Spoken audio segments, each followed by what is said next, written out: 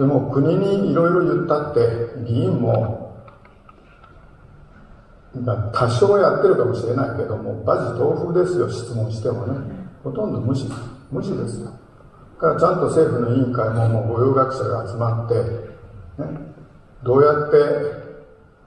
まあ、切り抜けるかみたいなことは考えてるかもしれないけど、患者さんについてどうするかっていう正面から医者としてのね医者としてのですよ。義務責任をねどう思ってるかっていうのは私は本当にね情けないと思いますよ